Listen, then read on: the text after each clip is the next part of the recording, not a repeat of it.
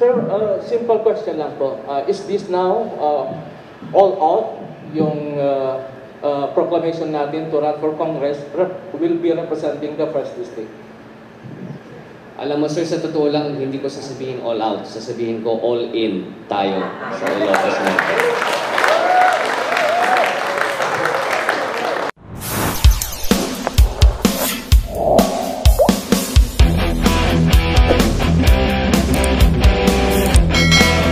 What's up mga karuba? This lagi nyo ko nyo boy apong din weapon English Ilocano Aglalaok. At nakita po natin na ganun talaga kagaling sumagot si Sandro Marcos sa mga kasama natin from media. And pagpatuloy natin panoorin ang mga tanong ng mga media at sasagutin niya napaka-class, napakagaling, napaka-intelihente. So let's watch.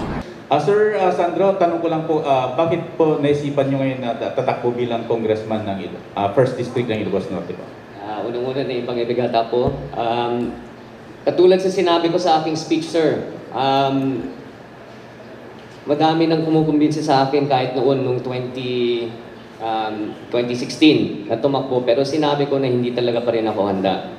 Kaya pumunta muna ako sa Kongreso, nagtrabaho muna ako dyan 2 to 3 years para, mara- para malaman ko po paano yung proseso na pumasa ng batas, paano po gumawa ng batas. At ah, sa tingin ko, sa ngayon, handa na po ako. Ano yung pangunahing platform po natin sa pagtakbo natin, sir? Nako sir, ah, sa, sa tingin ko, yung sinabi ko tungkol sa COVID-19 Economic Recovery Program, ah, napakaganda yung programa ni Gov ngayon na bumibigay tayo ng ayuda sa mga pamilya na naka-lockdown. Pero kailangan tumingin tayo sa kinabukasan. At ah, kailangan ah, iplano natin kung ano kailangan gawin, saan yung mga industriya na natama, na, na, na, na natama. At ah, dun tayo kailangan mag-asikaso muna at yan ang aking platform para tumakbo ngayon. Thank you, sir. Okay, next we have Miss Arlene Domingsil of DZJC Action Radio, Lawag. Magandang umaga sa ating lahat. Uh, Sir Pam, kumusta naman po ang suporta ni First Lady Imelda Romualdez Marcos sa iyong pagtakbo bilang diputado sa First District ng Ilocos Norte? Um, naku ma'am, alam mo, ah, kakakita lang namin ni, ni Mama Meldy ko. Ah, dahil birthday ng tatay ko. Eh, nung nalaman niya na ngayong araw na to, mag-a-announce ako sa, tungkol sa aking plano, ah, gusto niya sana pumunta dito. Pero yung tatay ko at ah, si Senadora, eh, alam mo na alam naman natin, 92 na yung lola ko. Ah, so sinabi niya, ipapahinga muna namin at ah, it's not worth the risk. Pero full support ang aking lola, excited na excited siya. At ah, I hope that I can do her proud.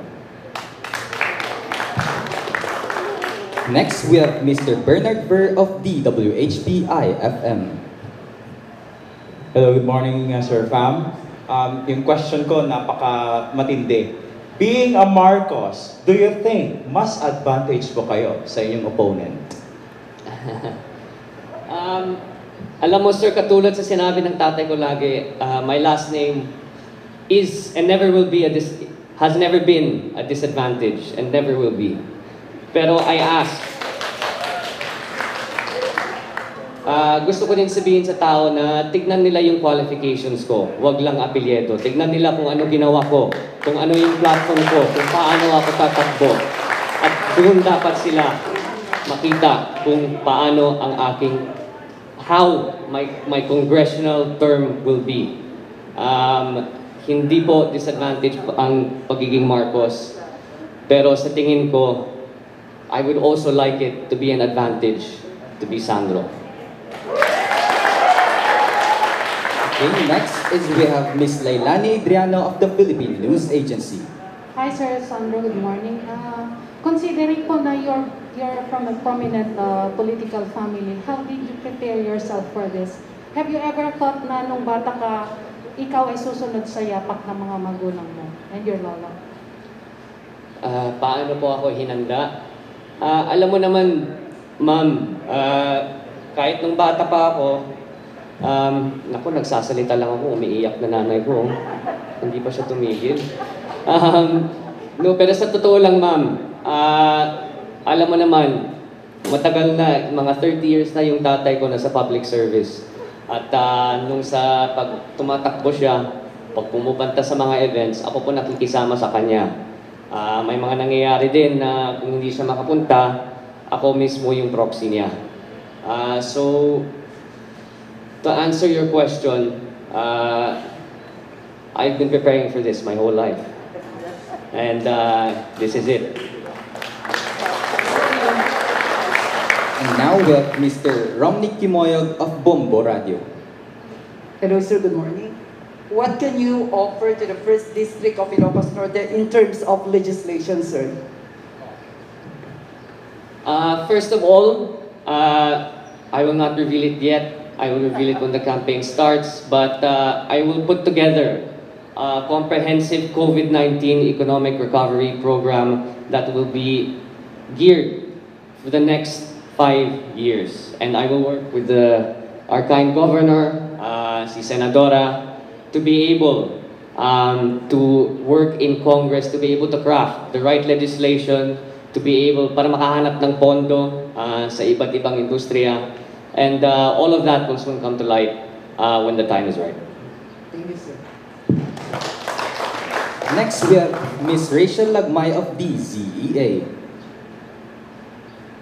Good morning po sa ating lahat. Sir, uh, for uh, Sir Sandro po. Sir, what can you say po to our kakaiyan na every time po, hindi, kahit hindi pa po election period, ay um, nananatili po yung minimithi nila na someday a Marcos and uh, uh, a Marcos will and will still lead them. And uh, in your case po ngayon, to possibly represent po Iday Ilocanos from the first district in the House of Representatives. Sorry ma'am, pwede pa repeat lang, hindi kita Sige po. Ah, what can you say po to our kakailan, sir, na every time po, kahit hindi pa po election period, ay uh, minimitin na nila na uh, Marcos will, will and will still lead them, and in your case po, to represent our Ilocanos from the first district sa House of Representatives po. Ah, alam mo man para sa akin, napakalaking karangalan kung ah, pipiliin ako ng aking mga kakailian para para maging congressman ng unang distrito ng Ilocos Norte at gusto ko gusto ko lang sabihin sa kanila na maaasahan nila ako para bumigay ng 100% at ah, I will make the Ilocano name proud. Okay, next is we have Mr. Renzi Marcelo of the Locos Times. Hello, good morning, sir. This is my question. What are your fondest memories growing up in Ilocos Norte and observing your father in leading then Governor Bongbong Marcos?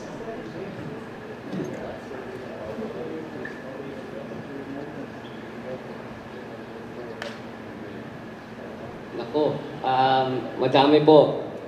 Unang-una, nung nag-aaral ako sa Kids College, of course, ah, kami ng mga kaibigan ko pumupunta sa bahay every weekend. At ah, natutulog sila sa bahay and ah, it's it's a very fond memory. At ah, alam mo naman, pag ganun yung edad mo, madami kang ginagawang mali. So pinapagalitan lagi ako ng mga magulang ko. Pero napakasaya pa rin. um, aside from that, Ah, yung isa pang memory na naalala ko ay nagla-lunch kami.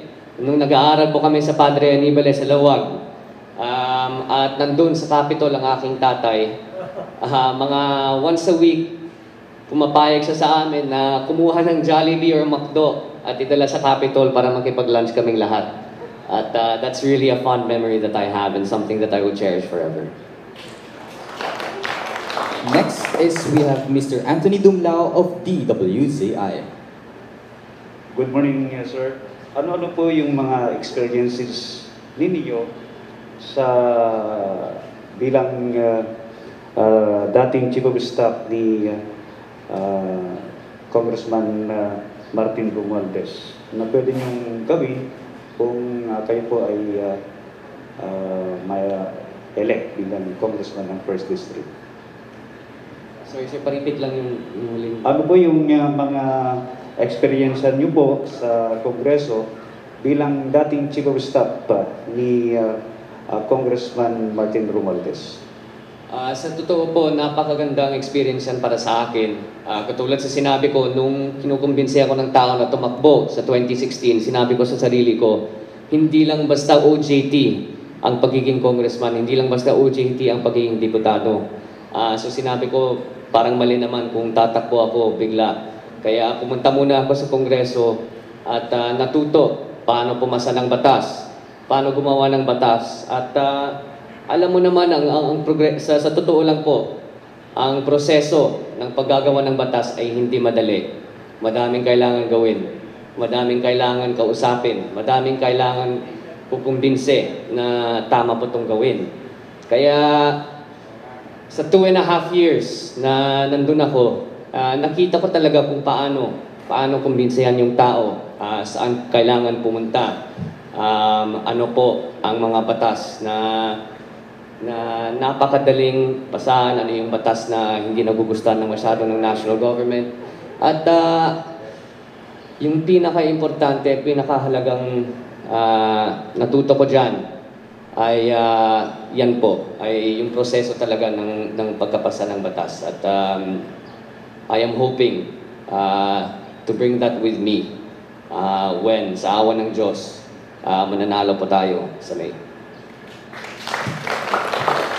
Next is we Mr. Jojo Clemente of Magic FM. Uh, first of all, good morning po sa inyo lahat. Uh, Governor, uh, Sir BBM and Sandro. Uh, a lot of people are expecting na kayo po, Sir Sandro, ay tatakbo bilang congressman. And it will, it's really happening now. So, ang dami nagsasabi na it's gonna be a stiff competition. And uh, my question is, uh, with your in, uh, internship sa Congress, with your academic background, and with your experience uh, from your political family, ano sa tingin mo yung pwedeng maibigay na assurance? Especially because our kakailan, medyo ano sila sa assurance na ibibigay sa kanila eh. So anong assurance na may natin sa ating mga kakailan sa Ilocos Norte uh, for, as you running for Congress? And uh, ano sa tingin po ninyo ang uh, mas angat ba kayo sa inyong competition? Sir, thank you. Well, the assurance that I can tell my kakailian now is that I promise them to uh, to give them my very best and uh, give them the brand of leadership that uh, my father was very well known for, that Senadora Aimee was very well known for when they were serving the province. And uh, I promise them if they if they um, if they were happy with the things that transpired during their time and during their terms serving the province of Ilocos Norte, I can almost guarantee that they will get the same from me. Last not Ano pa yung second question? Nakalimutan, hindi ko narinig. Uh, second question, ano, ano po yung edge ninyo sa competition ninyo sa darating na election? Sa Um, opponent pa ninyo? No, I mean, sa totoo lang po, um, in terms of edge, I guess I would say my educational background, um, the fact that uh, given where we are now, uh, where our province is now, what the province needs, what the province uh, re- requires in terms of getting us back on our feet. I think given my background, given what I have learned, given what I have experienced, um, that I am the best suited candidate to be able to bring this province forward and achieve progress. Okay, so tapos na. Tapos na yung ano, press conference niya sa pag-declare niya as a candidate for first district congressman sa Ilocos Norte. Sana nag-enjoy kayo. This is Apong Glenn. Yo, what's up? Bye-bye.